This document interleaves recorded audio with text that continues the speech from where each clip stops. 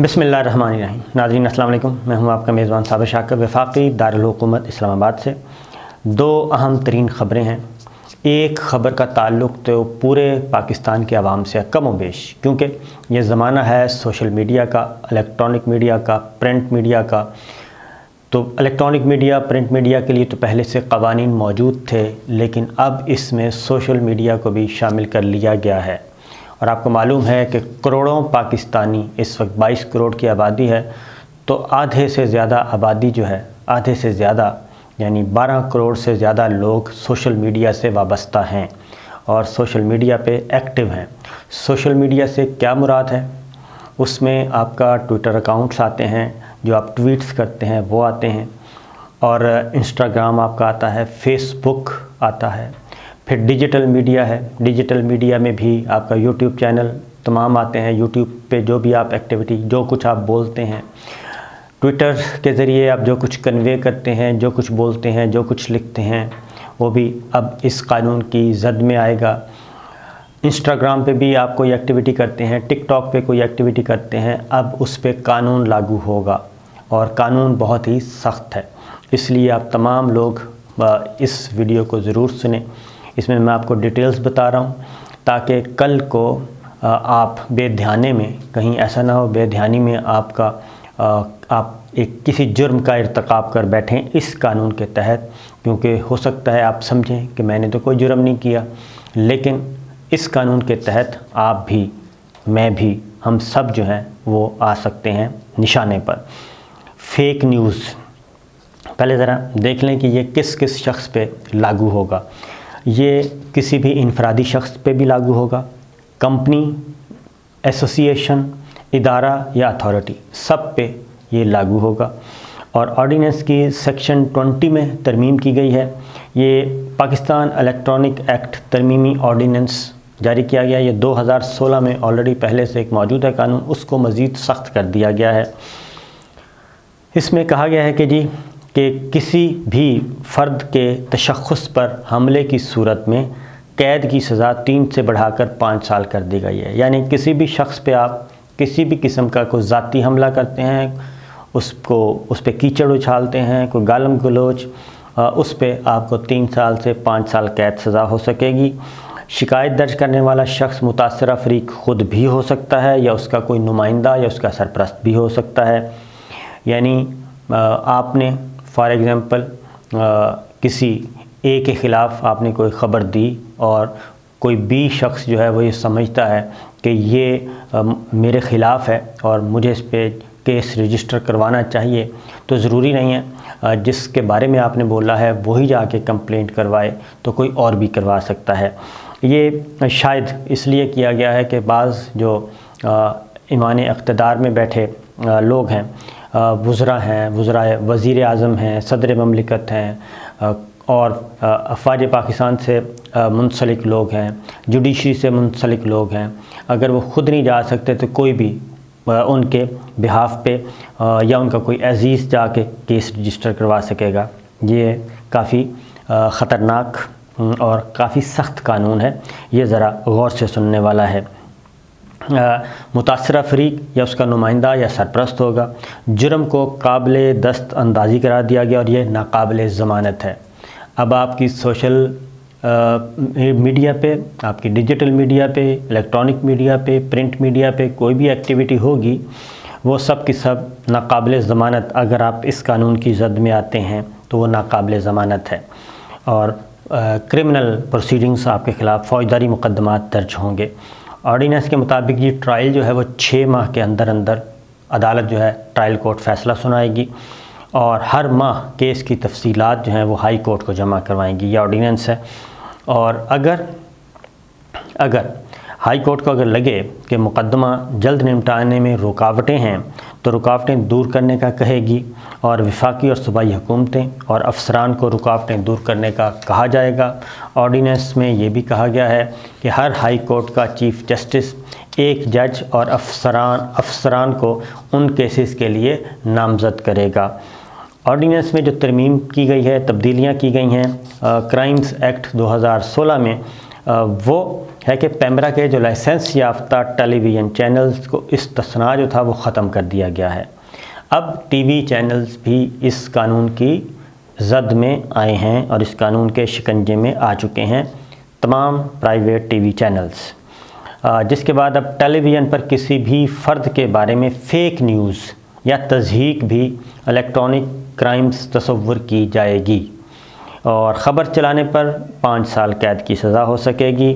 जाली खबर चलाने की सूरत में सिर्फ़ मुतासर फ़र्द नहीं, बल्कि किसी भी शख्स को इख्तियार होगा कि वह अथॉरिटी से रबता करके मुकदमा दर्ज करा सके और ये नाकबिल ज़मानत जुर्म होगा।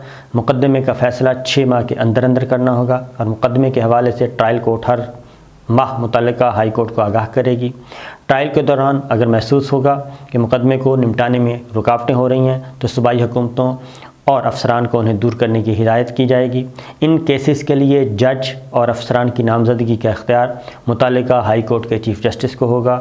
मस्कूरा ऑर्डीनेंस को इम्तना इलेक्ट्रॉनिक क्राइम ऑर्डीनेंस 2022 का नाम दिया गया है, जो फौरी तौर पर नाफिजुलमल होगा। इसके अलावा सदर ममलिकत ने जी एक और आर्डीनेंस भी जारी किया है। लेकिन पहले ज़रा इन पीका से मुतक आप ज़रूर सुने जी। इस सिलसिले में वफाकी वज़ी कानून फ़रूक नसीम ने भी कुछ तफसीत बताई। उन्होंने कहा कि इस ऑर्डीनेंस के तहत, पीका ऑर्डीनेंस के तहत जाली खबर देने वाले की ज़मानत अब नहीं हो सकेगी और किसी को भी इस्तना हासिल नहीं होगा। यानी कोई भी शहरी इससे मुस्तना नहीं है और कोई भी ख़बर देगा, वो धर लिया जाएगा अगर वो ख़बर इस कानून की जद में आती है। ये कानून सबके लिए बराबर होगा। मरूफ शख्सियात से मुतल झूठी खबरों के ख़िलाफ़ शिकायत कुनिंदा कोई आम शहरी भी हो सकता है जो मैंने आपको बताया। वज़ीर हैं वफाकी वज़ीर सूबाई वज़ीर वज़ी अजम और अली अदालती शख्सियात कोई भी। तो ये इसमें सारे आ, आ चुके हैं जी। इसके पीक ऑर्डीनेंस में सज़ा आपको बता चुका हूँ तीन साल से बड़ा तीन साल से पाँच साल तक है।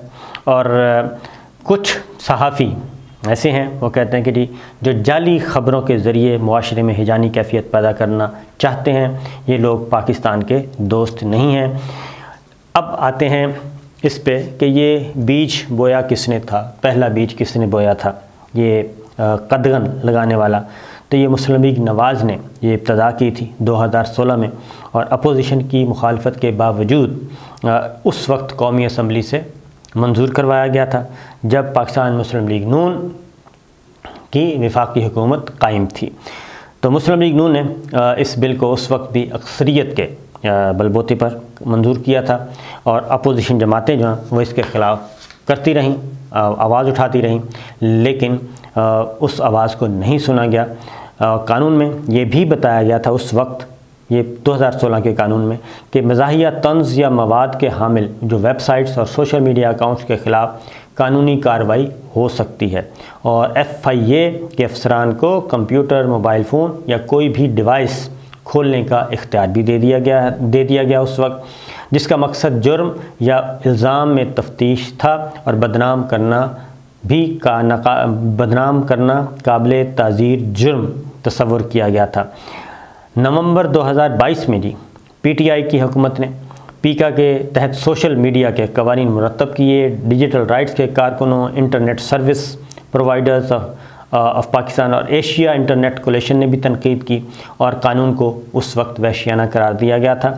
अब भी जो ह्यूमन राइट्स पाकिस्तान है, वो इसको कह रहा है कि ये जमहूरीत के ख़िलाफ़ है ये कानून। लेकिन बहरहाल ये चीज़ें मौजूद हैं जी, और ये कानून आ चुका है। इस कानून के बारे में कुछ मज़ीद भी आपको डिटेल बता देता हूँ, क्योंकि ये बाईस करोड़ आवाम से मुतलक है, और ये ख़बर जिसके मुतलक कोई बात की जाएगी या जो करेगा दोनों ज़ाहिर है, आधे बाईस करोड़ से ज़्यादा इस वक्त पाकिस्तान की आवाम जो है, वो एक्टिव है सोशल मीडिया पे, डिजिटल मीडिया पे और इलेक्ट्रॉनिक मीडिया पे। इस ऑर्डीनेंस की मदद से जी, झूठी खबरें फैलाने वालों के ख़िलाफ़ हद तक इज़्ज़त का केस भी किया जा सकेगा और क्रिमिनल जुर्म के तहत कार्रवाई भी की जा सकेगी। और ये भी इस कानून का हिस्सा है।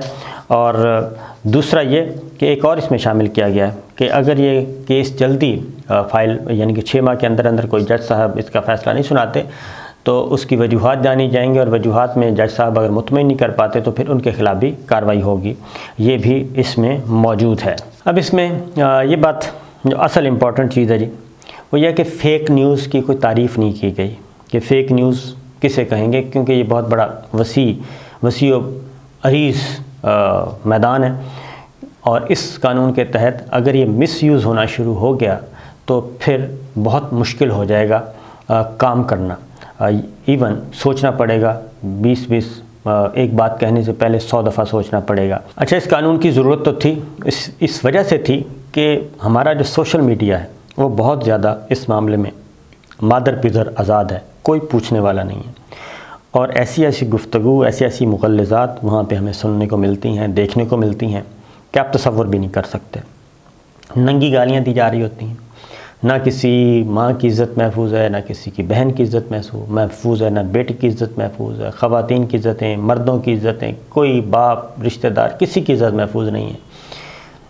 हम ऑनरेबल जजिस के ख़िलाफ़ भी, यानी कि ये लोग बहुत ज़्यादा बेदरेग कर रहे होते हैं, लंबी लंबी वीडियोज़ आ रही होती हैं और ये सारी चीज़ें अपनी जगह पे मौजूद हैं। लेकिन दूसरी जानब ये है कि असल जो ख़तरा है, वो ये है कि इस खबर, इस एक्ट का, इस कानून का, इस ऑर्डीनेंस का मिस यूज़ गलत इस्तेमाल होगा। और अगर हुकूमतें इसको अपने लिए इस्तेमाल करना शुरू कर दें एक हथियार के तौर पे तो फिर इससे बहुत ज़्यादा बदमज़गी होगी। और शायद ही कोई टीवी चैनल, कोई सोशल मीडिया पे कोई बात कर सके। फ़ॉर एग्ज़ाम्पल फ़ेक न्यूज़ कहते हैं। एक मिसाल है कि जो मुलाकात हुई। तरीन ग्रुप से, या जहांगीर तरीन से मौलाना फजलरहमान साहब की, जहांगीर तरीन से शहबाज शरीफ साहब की ये मुलाकात हुई। सोर्सेज बताते हैं। या फिर काबीना के अंदर की ख़बरें आती हैं कि जनाब आज काबीना में ये हो गया। अंदर की खबर, फ़लाँ मसले पे ये बहस हो गई, फ़लाँ वज़रा ने ये कहा, उसने ये कहा। तो ये सारी ख़बरें किस ज़ुमरे में आएँगी? यानी कि मुलाकात हुई, नहीं हुई। फिर एक और ख़बर ख़बर आती है, ये सारा असल में हमारा जो पॉलिटिकल साइंस, सोशल साइंस ये सारी ह्यूमन से रिलेटेड है। तगैरत होते रहते हैं, सिचुएशन बदलती रहती है। आज ख़बर दी जाती है कि जी, फ़लाँ वज़ीर जो है, वो इस्तीफ़ा दे रहे हैं। और अगर उन्होंने इस्तीफ़ा ना दिया और अपना फ़ैसला वापस ले लिया तो वो भी फ़ेक न्यूज़ के ज़मरे में आएगी। तो ये बहुत सारे इसमें लू पोल्स हैं जिनको एड्रेस करना ज़रूरी है। फिर ये है कि जो फेक न्यूज़ है ज़ाहिर है जो जर्नलिस्ट है जो काम कर रहा है उसको कोई ना कोई सोर्स ख़बर देता है। और बाज़ात ये ज़रूर होता है कि वो ख़बर गलत रिपोर्ट हो जाती है सोर्स अपना आ, अपना मफाद उसमें डाल रहा होता है। लेकिन जर्नलिस्ट को बाज़ात उस पर एतबार करना पड़ता है और वो रिस्क लेता है ख़बर देने का। तो अगर वो ख़बर देने का रिस्क लेता है और कल को वो फेक न्यूज़ झूठी खबर साबित होती है तो फिर इस कानून में ख़बर देने वाले का भी तस्करा होना चाहिए था। क्योंकि जो काबीना की खबरें आ रही होती हैं, वहाँ पे तो कोई नहीं होता, कोई जर्नलिस्ट नहीं होता, कोई ऑफिसर नहीं होता। वो तो ख़ुद ही आपस में एक दूसरे ख़बर वज़रा ख़ुद ही दे रहे होते हैं वज़रा होते हैं मुआवनीन होते हैं जो भी हैं वो दे रहे होते हैं। अगर किसी की तारीफ़ हो गई तो दे देगा किसी मुखालफ फरीक की मुखालफ वज़ीर की कोई दुर्गत बनाई गई है तो उसके बारे में ख़बर दे देगा। तो बहरहाल ये एक आ, है लेकिन कानून आ चुका है और इसकी कुछ चीज़ें बहुत अच्छी हैं और कुछ चीज़ें इसकी काफ़ी ख़तरनाक हैं। उसमें बहुत ओपन छोड़ दिया गया है। मैदान उसमें फिर फ़ैसला करेगी हुकूमत वक्त या फिर वो अथॉरिटी क्योंकि ये आम लोगों के लिए तो नहीं है। आम लोगों को तो शायद ही कोई आ, आ, रसाई हो आ, और उस पर एक्ट होता हो। ये है ख़ास के लिए ही। ख़ास लोगों की आ, बारे में है कि उनको उनकी तरफ़ कोई उंगली ना उठाए। इस पिका ऑर्डीनेंस के बारे में पाकिस्तान पीपल्स पार्टी ने भी तशवीश का इजहार किया है। पाकिस्तान मुस्लिम लीग नवाज़ ने भी तशवीश का इजहार किया है। सईद गनी साहब का बयान सामने आया है। वो कहते हैं कि गलत खबर को बुनियाद बनाकर किसी को भी जेल में डाल सकते हैं। इस कानून के तहत ये बात बिल्कुल दुरुस्त है कि इसमें बहुत सारी चीज़ें ओपन छोड़ दी गई हैं। और ख़ास तौर पे उन्होंने ये भी कहा कि ये कानून जो है, ये इसकी माजी में मिसाल नहीं मिलती कि इस तरह की सख्त कानून साजी की गई हो। फिर पाकिस्तान मुस्लिम लीग नवाज़ की तरफ़ से भी इसको क्रिटिसाइज़ किया गया और मरियम औरंगज़ेब साहबा सामने आई हैं। उन्होंने कहा है कि हुकूमत जो कवानी बना रही है, वो ख़ुद इमरान एंड कंपनी के ख़िलाफ़ इस्तेमाल होने वाले हैं। और इसलिए वो कहते हैं कि ऐसे कवानीन जो हैं, वो डगमगाती हुकूमत को बचा नहीं सकते। तो माजी में ऐसा हो सक, हो चुका है कि जो हुकूमत कानून साजी करती है, ख़ास तौर पे हमारे सामने मिसाल है, ये नैब ऑर्डीनेंस की मिसाल हमारे सामने है। नैब के कवानी मुस्लिम लीग नवाज़ को इसका सहरा जाता है, लेकिन सबसे ज़्यादा मुतासर भी वो हो रहे हैं और अब सारी तपिश उन तक पहुँच रही है। तो बहरहाल देखते जाइए जी, मेरा काम था आपको बताना। अब ज़रा आप सोच समझ कर बोला करें, सोशल मीडिया यूज़ करें, डिजिटल मीडिया यूज़ करें और इलेक्ट्रॉनिक मीडिया यूज़ करें। इजाज़त दीजिए, अल्लाह हाफिज़।